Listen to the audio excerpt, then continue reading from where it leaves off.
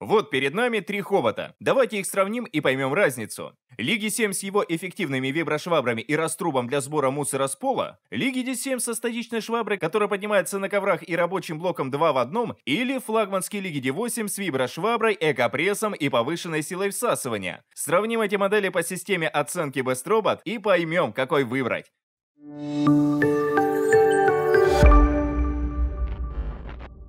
Всем привет, добро пожаловать на канал, мы начинаем! Сразу разберемся со стоимостью. На момент подготовки ролика Лиги D8 самый дорогой робот серии. Лиги 7 самый доступный, что соответствует хронологии появления на рынке. В телеграм-канале я мониторю цены и скидки на разных площадках. Кстати, рекомендую подписаться. Но ценник меняется каждый день, поэтому в итоговой оценке я его не учитываю. Заходите в телеграм-канал, ищите лучшее предложение и делайте свои выводы. А здесь мы лучше поговорим о том, что внутри коробки. Базовая комплектация одинаковая. Запасные щетки, салфетки, фильтры, дополнительные аксессуары, включая пузырек для заполнения бачка, инструкция на русском языке. Нужно отдать должное хоботам, бренд стабильно делает щедрую комплектацию. Все три робота получают по полтора балла.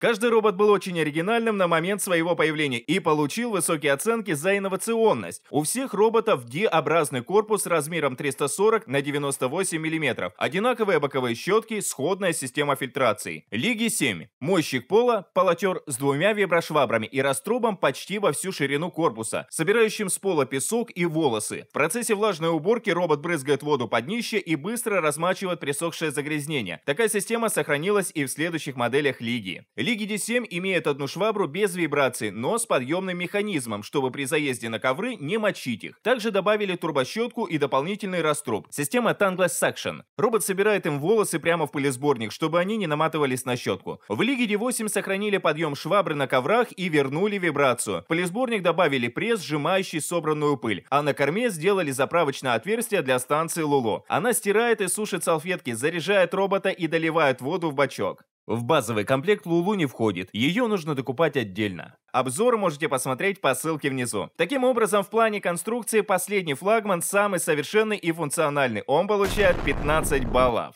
О, чуть не забыл сказать. Видео ограничимся итоговыми данными. Подробную схему и за что начисляются баллы можете посмотреть в статье на сайте.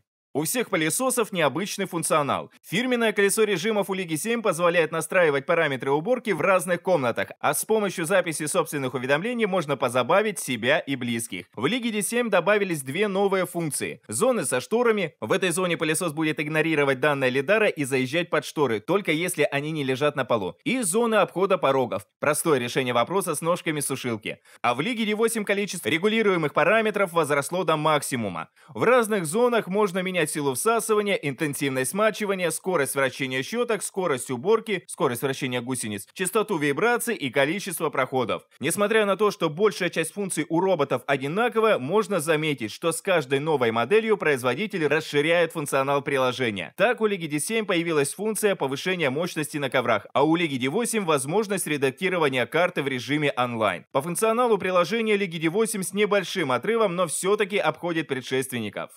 Навигация у роботов Лиги похожая. Все они ориентируются при помощи лидара и гироскопа, убирают по периметру и зигзагами, обметают ножки мебели, коробки, вазоны и любые предметы выше 10 см. Лиги 7 в силу особенностей конструкции не преодолевают пороги выше 5 мм, зато работает на темных покрытиях. D7 и D8 наоборот, легко преодолевают 20 мм, но не заезжают на темные ковры. Черная глянцевая поверхность не в счет. При этом у восьмерки есть крутая функция – ослабить залазание по сути, это обход мест, где робот может попросту застрять. Пороги, ножки барных стульев и сушилок и так далее. В плане навигации эта модель явно лучше соперников. Лиги 7 расходует запас батареи эффективнее последователей. На максимальной мощности пылесосит 2,5 часа и успевает обработать 120 квадратных метров. Отличный вариант для большого дома. За счет такого рывка Лиги 7 почти догоняет Лиги D7 в общем зачете, но Лиги D8 по-прежнему далеко впереди. В старом обзоре семерки не было щелевого теста, потому что тогда у меня не было стенда. Но я заморочился и заново купил робота, чтобы сделать замеры. Думаю, это однозначно заслуживает лайка, а может даже подписки. В процессе тестирования Лиги 7 и Лиги D7 смогли вытянуть кофе из щелей до 4 мм. Такой же результат показал и Лиги D8. При этом в двух точках он зачистил 6,8 мм. Но это скорее погрешность эксперимента, чем реальный прирост мощности. Всем хоботам я засчитываю 4 миллиметровую щель и начисляю по полтора балла, так что расклад остается прежним.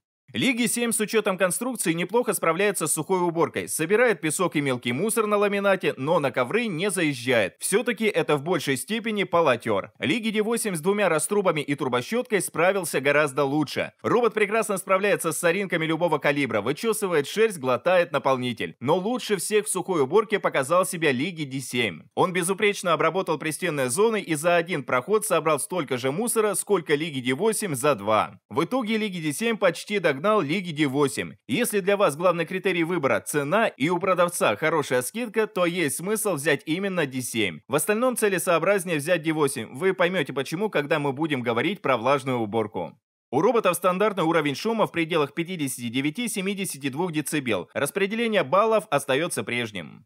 Результаты влажной уборки показывают, что вибрация имеет значение. Лиги 7, у которого этой функции нет, показал себя хуже конкурентов. Лиги 7 с двумя виброшвабрами быстро отмывают любые загрязнения, включая присохший кетчуп, и хорошо промывают вдоль стен. Лиги D8 немного уступает семерке в качестве мытья за один проход, ведь у него лишь одна виброшвабра. Зато он стирает салфетку на станции и за несколько подходов приводит в порядок весь дом, не оставляя разводов после сложных загрязнений. Качество самоочистки можете заценить в обзоре станции Лулу. Еще раз напоминаю, что подробное начисление баллов в таблицах на сайте. Переходим по ссылке в описании и изучаем.